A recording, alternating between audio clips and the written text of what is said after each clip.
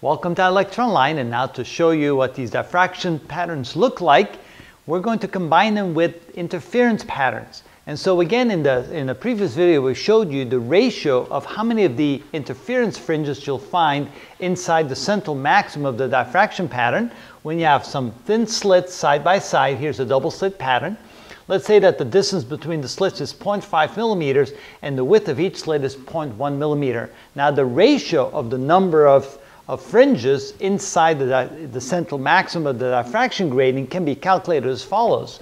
We know that the number of fringes is equal to 2 times the ratio of the distance divided by the, the size of each of the, um, of the slits. So the distance between the slits divided by the size of the slits times 2. So if we do that, we get 2 times 0.5 divided by 0.1, which is 5, times 2, which is equal to 10. So we should be able to see 10 fringes here.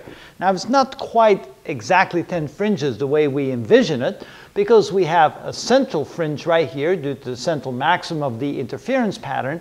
Then we have four more complete fringes on each side. So I have 1, 2, 3, 4. 1, 2, 3, 4. So that's 4 plus 4 is 9, plus the fifth one here is uh, that 4 plus 4 is 8, plus the fifth one is 9. And then what happens is exactly at the location where the minimum occurs of the diffraction pattern, that's where you would have a maximum of interference pattern, and you have that on both sides right here. So really what you can think of it is that you have kind of a half a maximum right here that's canceled out by the minimum of the diffraction pattern. So you have 9 plus a half plus a half, which gives you basically 10 fringes internal like that. To show you how that works is first of all, we're going to find the distance, the location of the first minimum of the diffraction pattern. So if we want to do that, we have to go ahead and use this concept right here, where y can be found for the minimum would be 2 times m times lambda times l divided by 2a. Okay, the way where that comes from is as follows. We know that the um, phase difference, and now notice that I use beta instead of phi for for the uh, diffraction pattern. So beta is equal to the extra distance traveled between the top and the bottom part of the beam coming through a single slit divided by, uh, that would be the wavelength, times 2 pi. Now the extra distance traveled for a single slit can be found. So beta is equal to, that would be the slit, the, uh, the width of the slit times the sine of theta divided by lambda times 2 pi. And then to find the minimum, the minimum would be found when the phase difference is equal to a full 2 pi. So we take beta, we turn it into 2 pi. So to find the minimum, beta needs to be equal to 2 pi. So this becomes 2 pi equals a. And instead of writing the sine of theta, we can write the tangent of theta. So because for very small angles, and these are very small angles, the sine of theta is equal to the tangent of theta times 2 pi divided by lambda. Right away we can see that we have 2 pi on both sides, so this can become 1 and this can become 1. And instead of writing the tangent of theta, we can write the opposite over adjacent. Remember that is this distance right here. So we're talking about this angle theta right there. The distance to the screen is called L. And let's say that the distance from there to there is called y. So the opposite side over the adjacent side is equal to the tangent of theta. So we can write 1 is equal to a times y over L. We still have lambda right here, and that became 1. And now if we solve this for y, we get y is equal to L lambda divided by a. And notice that to find the first minimum, if we turn m into 1, that we have 2 divided by 2 that cancels out. So we have lambda times L divided by A, which is exactly what we have here. That's where that equation came from. That'll give us the distance to that first minimum for the diffraction pattern. And let's assume that L is equal to 2 meters to make it easy on ourselves. We'll throw in some numbers here. So this would be 2 meters. The wavelength that we're using is 500 nanometers. So 500 times 10 to the minus 9 meters.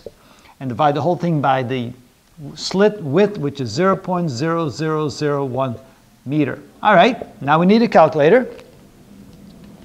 And matter of fact, if we, that's 4 times 5, 2, that's actually 0.01 meter. This is equal to 0.01 meter, which is equal to 1 centimeter. So this is equal to 1 centimeter to the distance from the central maximum to the first minimum in our diffraction pattern. All right?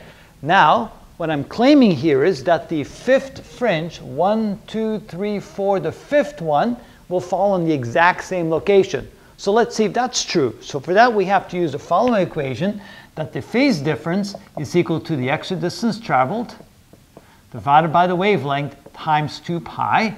Now this would be the phase difference to find the first, second, third, fourth, fifth max. That would be the fifth max Remember how the phase difference goes. If the phase difference is equal to a, to a half a wavelength, which is pi, that gives us the first minimum. When it's equal to 2 pi, that gives us the first maximum. 4 pi is the second maximum, 6 pi the third maximum, 8 pi the fourth maximum, and 10 pi the fifth maximum.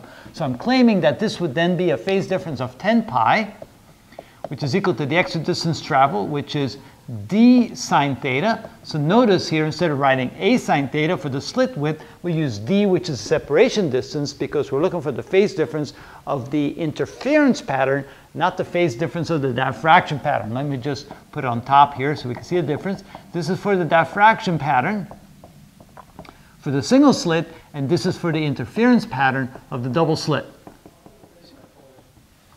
So d sine theta divided by lambda times 2 pi. And of course, the pi cancels out on both sides. And here, the 10 divided by 2, that gives me 5 over on this side and 1 on this side. Now, just like we did before, the sine of theta is approximately equal to the tangent of theta. So we had 5 is equal to d times the tangent of theta divided by lambda. And of course, the tangent of theta, just as before, is equal to the ratio of y over L, the opposite side over the adjacent side. So we can say that 5 is equal to D times the opposite side, y, adjacent side, L times lambda. Solving that for y, we get y is equal to 5L lambda divided by D. Notice here we have y equals L lambda over A. There we have y equals 5L lambda over D. And so when plugging in the numbers, we get 5 times L, which is 2 meters, times 500 times 10 to the minus 9 meters for the wavelength divided by the separation distance, which is 0.0005 meters. It's a zero right there. And then if you grab your calculator, you see that this is five times as big, but this is five times as big in the denominator. That cancels all out, and we get y equals 0.01 meter, which is equal to one centimeter, which is the exact same location as the first minimum of the diffraction pattern. So that shows, in this example, when the ratio is 5 to 1, the distance between the slits is 5 times the width of each slit. When we take the ratio, we get 2 times 5 divided by 1, which is 2 times, or 0.5 divided by 0.1, which is 10. So we should see 10 interference fringes inside the central maximum of the diffraction grating. And to show that that's indeed the case, we found the location of the minimum of the diffraction grating, which is at one centimeters, and we found the maximum of the fifth fringe, one, two, three, four, five, of the interference pattern, which was also at the exact same location, which therefore shows and proves to us that we have basically nine whole fringes plus a half plus a half, a total of 10 fringes inside the diffraction pattern when the ratio of D to A is 5 to 1. And there you go. That proves this equation right here to be correct. And that's how we find out how many fringes we have inside the diffraction pattern, how many interference fringes we have inside the diffraction pattern. That's how we do that.